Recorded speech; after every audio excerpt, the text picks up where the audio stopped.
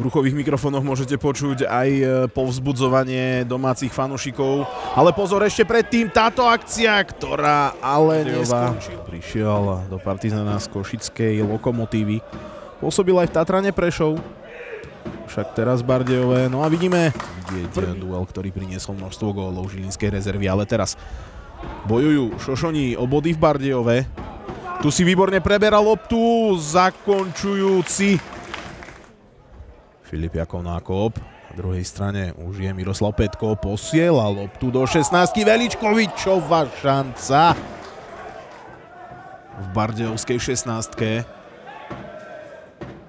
Výborne si teraz preberá loptu a posiela do vedenia po prihrávke Taufika Džibrila Matúš Rusnák.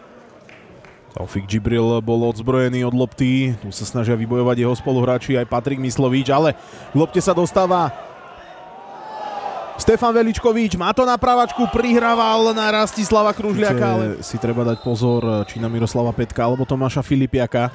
Maník posiela loptu do 16, výborný zákrok Teplana a teraz trestu hodne zahodil po tejto útočnej akcii. Tu je Veličkovič. Veličkovičov center na Lópeza.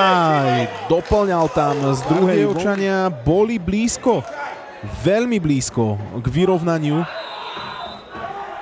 Končoval znútra pokutového územia, lenže jeho strela minula